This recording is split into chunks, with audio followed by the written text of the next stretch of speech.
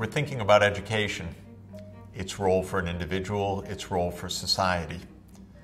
I've been emphasizing that education is absolutely critical for economic development. Education is a pathway for uh, high productivity uh, workforce. Uh, education is uh, the ticket to individual job security and higher incomes for individuals, especially in an age of uh, knowledge uh, at the center of so many parts of the economy. I want to talk about higher education even beyond uh, those individual human capital uh, issues uh, and reflect on the importance of higher education for overall economic development through other pathways as well, not only the training of individuals, but the problem solving of society. Now, let me say straight out, I'm utterly biased. Uh, I love universities, uh, and uh, I have been in uh, universities now. Uh, I'm uh, probably shouldn't tell you, but it's more than 40 years since entering college life in 1972. and since then, I've had the great uh, joy and pleasure to be part of two great universities, Harvard and Columbia University, uh, throughout my life and throughout my career. Places of uh, great learning, uh, wonderful students, wonderful opportunities to expand one's knowledge. I admire universities for what they can do and should do for society. Uh, and I wanted to reflect a little bit on how important higher education is, not only in preparing you or me for a, a job in the labor market, but for enabling us to participate more broadly as citizens and especially to participate in each generation's challenge of problem solving. What we know about higher education is that not only does it boost the human capital of the individual, but it goes right to the core that I've been stressing of the key to long term economic development of technology and of know how. Higher education has shown itself repeatedly to be crucial for the two kinds of growth that we observed. One is the endogenous innovation based growth, where new science and new technology are developed, giving birth to new industries, whether it was James Watt working in the workshop at Glasgow University in 1776 when he said, I got it, the new steam engine, uh, or whether it's the advances uh, that have been pouring out since over the following two centuries, including the great breakthroughs in computer science, uh, in material science, uh, in uh, Moore's Law, which has underpinned the transistor and integrated circuit revolution of the last 50 years of genomics, of agronomics. Universities and higher education have been absolutely central because technology uh, and scientific advance has been central. The second kind of growth is the adaptation of technologies from abroad. It's true that not every technology requires uh, a high skilled user to use it. How many of us really understand the quantum physics of how our mobile phones work? Because quantum physics is crucial for understanding solid state electronics, which is at the core of, uh, of uh, the integrated circuitry, which makes it possible uh, for the digital revolution to work. Well, not, not too many of us uh, could uh, recite all of the details of uh, the digital age, but we can still use the phones. Some technology just is marvelously packaged uh, so that it can be used essentially by anybody.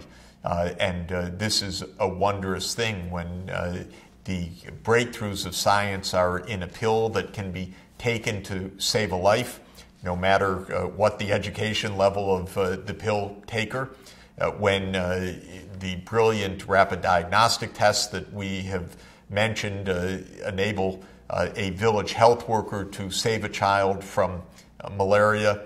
That's a kind of technology that is packaged in such a way that it is very, very broadly accessible. But a lot of catching up growth, which depends on bringing technologies from abroad and using them effectively, depends on skilled workers. Not necessarily the same kinds of scientists that invented the technology in the first place, but scientists and especially engineers who can adapt those technologies to local conditions. Uh, seeds that are taken from one place very often have to be adapted to local growing conditions or certainly to local farm systems. Even though Norman Borlaug's seeds from Sonora, Mexico worked in India, thank goodness for India's Green Revolution, how to plant them in the Punjab of India depended on skilled agronomists being able to make that translation of a technology from one place to the next. So, technology transfer is essential. Highly skilled workers are vital for that. Universities, of course, are vital for providing that knowledge. Universities are vital for providing the research and development uh, that are at the core of science based innovation.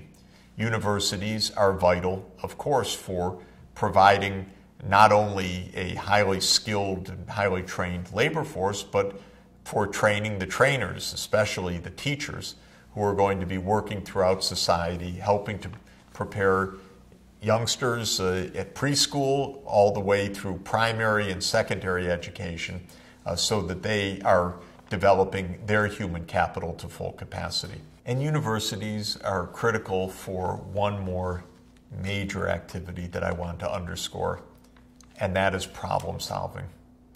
Policies and strategies to make the differential diagnosis that we've been speaking of, identifying the specific challenges that countries face, whether in public health or in transport and infrastructure systems or in facing the problems of uh, climate change or in adapting cities to be more resilient to natural hazards.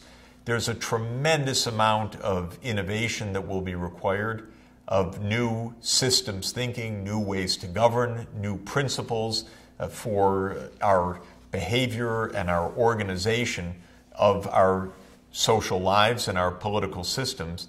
And universities are needed to play a key role in that kind of problem solving. Now, this, of course, poses a major challenge. We've already looked at this map, which shows the difference of enrollment rates in higher education in different parts of the world. Not surprisingly, uh, we know that countries like the United States, the Scandinavian countries, Western Europe, Australia, New Zealand, Russia, uh, are countries with a very high rate of university going, though probably not high enough given the uh, information age that we are in right now. But compared to poor countries uh, throughout Asia and especially throughout Africa, uh, we see that the uh, reach of universities in many of today's poor countries are not adequate to the needs for these societies to be able to generate the technology transfer, and the homegrown innovation uh, that's so essential for their development, and to have the highly skilled, uh, well educated leadership crucial for the national problem solving. If you look at this picture, which is a map of the uh, share of national income devoted to research and development, it looks a lot like the tertiary education enrollment rates. R&D is heavily concentrated in the high income world. This has been true essentially for two centuries now since the start of the Industrial Revolution. A tremendously high share uh, of the new innovations have come from a small subset of countries. The United States, Western Europe, Japan, now Korea, Singapore, Israel, just a few countries in the world accounting for the lion's share of the scientific breakthroughs and the patented uh, intellectual property that underpins a lot of the technology advances. And to a very important extent, that technology, even when it's being developed by businesses, depends on the university sector. Indeed, it is itself a fascinating and uh, complicated and complex challenge to understand how a society becomes an innovative society. As usual, for the kinds of problems that we're looking at, there's no simple linear path nor a single answer. You might say, well, a high-income country has businesses that do R&D, and uh, it's from that research and development that new innovation emerges. But inevitably, those companies first need highly skilled scientists and engineers to be doing that kind of research.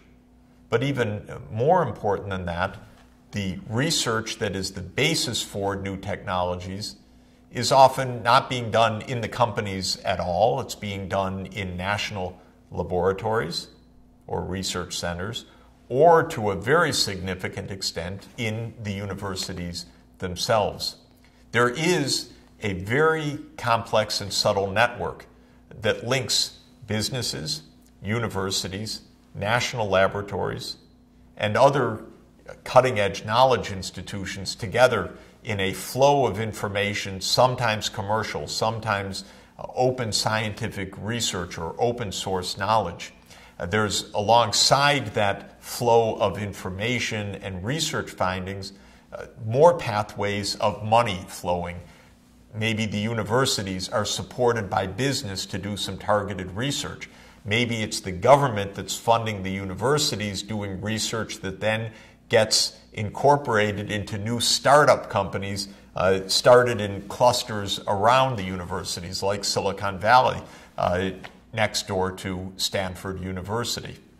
So we say that this is a national innovation system, that integrated mix of public and private and philanthropic foundations, of universities, of businesses, of government national laboratories, of financial flows in uh, all directions uh, that is putting together a very rich uh, flow of innovation uh, and uh, ability to make cutting edge steps forward in science and technology. It is part of the challenge of every country's development to create a national innovation system consistent with its capacities, with its needs, and with its opportunities. And within that, higher education plays an enormous role. I want to turn to the fourth aspect of universities that I very much admire and believe need an even larger place in our societies as we grapple with the challenges of sustainable development. And that's universities as major engines of problem solving looking at the complex problems that we are discussing with sustainable development. Uh, how to move to a new energy system, how to have sustainable agriculture, how our cities can be re engineered, uh, repurposed, uh, redesigned uh, for healthier, more uh, resilient uh, settings with the high economic productivity and less impact on the physical environment. And what has been known now for centuries, but really uh, demonstrated time and again during the period of modern economic growth is the role that institutions of higher learning can play in helping societies to grapple with their very complicated problems. Now, I'm very much attracted to one of America's great breakthroughs in this regard called the Morrill Act uh, a piece of legislation passed in the U.S. Congress in 1862 and signed by none other than President Abraham Lincoln. The Morrill Act created what are called land grant universities uh, in the United States. They are land grant because the federal government granted land to the states to establish new centers of higher education. and there is one for every state in the United States in this system of land grant universities. But what makes the Morrill Act and this initiative so novel and so important for America's history is that these institutions were set up not only to train, but to help the local communities and the states in which they are located to solve problems, to develop the skills, the techniques, uh, the knowledge base to solve problems, especially uh, from 1862 uh, for a long period of time to solve agricultural problems through agricultural field stations and outreach of university based scientists into the community to help farmers grapple with problems of uh, pests and productivity and soil nutrients and climate and the other uh, variables and inputs into uh, high productivity agriculture. So the Morrill Act in 1862 said that this uh, endowment would support the maintenance of at least one college per state where the leading object shall be, and I'm quoting from this act, without excluding other scientific and classical studies and including military tactics, to teach such branches of learning as are related to agriculture and the mechanic arts in such manner as the legislatures of the states may respectively prescribe in order to promote the liberal and practical education of the industrial classes in the several pursuits and professions in life. These were practical undertakings. What a great advance 150 years ago to think about the federal government, no less in the middle of America's Civil War, saying we need to invest in higher education to solve the practical problems, one per state in the United States. Other countries, of course, in similar ways have championed their institutions of higher education to play this kind of role. But many, many countries have so far not really taken up this idea. I meet with government officials in many places in the world where I find the reaction uh, cringeworthy, I might say, where they view universities uh, mainly as places to teach, perhaps as uh, hotbeds of uh, political controversy, uh, but not as partners in development.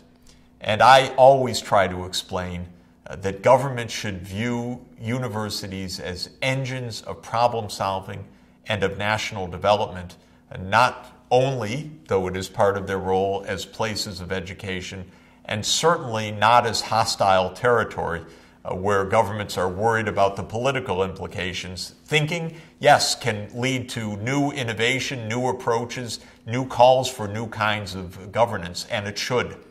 But universities must be seen by governments in this complicated age of sustainable development as partners in problem solving. It's for that reason that I'm also especially honored that UN Secretary General Ban Ki moon asked me to help him in his global leadership challenge of promoting solutions to sustainable development to help put together a knowledge network uh, based on the universities around the world precisely so that these universities can be more effective partners in their own cities, in their own nations, in their own regions in problem solving for sustainable development. You're looking at the uh, cover of a report that this new United Nations sponsored uh, Sustainable Development Solutions Network, or SDSN as we fondly call it, uh, issued to the Secretary General uh, in uh, identifying the main challenges for sustainable development for the period of 2015 to 2030. SDSN is an outreach organization aiming for very broad membership of institutions of higher education from around the world to join together to exchange knowledge, ideas, to debate and discuss alternative technological approaches, for example, to clean energy, to help keep universities around the world at the very cutting edge of sustainable development thinking, ideas, technological know how, also so that students can be trained to be at the cutting edge. And countries around the world are forming their own chapters of the SDSN the Nigeria chapter, the Ethiopia chapter, the Indonesia chapter, the Malaysia chapter, the Korea chapter, as well as regional groupings, for example, around the Mediterranean Basin region, headquartered uh, at the University of Siena, or around the Sahel countries of West Africa, uh, centered uh, in, uh, in uh, Dakar, Senegal or around the uh, universities of the Horn of Africa with a base in Nairobi, Kenya, or the ASEAN universities for the Southeast Asian countries uh, with a uh, headquarters in Bali. In all of these cases, these networks are strengthening themselves through partnership, through online materials, through joint activities uh, through uh, common teaching programs, uh, through common problem solving efforts, to be available to society in the same way that the Morrill Act created the land grant institutions, to be available for practical problem solving on the complex challenges of sustainable development. I believe that by forming this kind of network, by energizing the extent and intensity of problem solving, and I'm counting on all of you to be part of that as well, we can indeed succeed in this great challenge of achieving the multiple objectives of economic development, social inclusion, environmental sustainability, and good governance that all of our societies need and yearn for.